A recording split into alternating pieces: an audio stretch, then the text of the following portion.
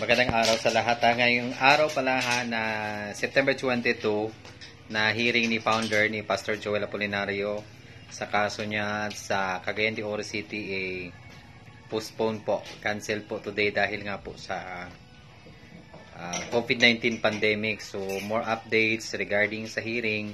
Mag-update lang po tayo again. Conti- just continue praying. Kailangan maging safe po tayong lahat. Lalo-lalo na kasama isama natin sa mga prayers po natin si Kappa Founder Pastor Joel Apolinario kasama na yung kanyang pamilya. Tayo na mga members ng Kappa Ministry International Incorporated. Just continue praying po para sa kaligtasan natin. Huwag natin kalimutan na mag-pray always kay Lord Jesus na protektahan po tayo cover po tayo ng kanyang precious blood. Lagi po natin itataas sa kanya yung ating sarili, yung ating pamilya, yung kaligtasan po nating lahat itaas po natin always sa Panginoon ho yan ha, mga kapamilya po natin.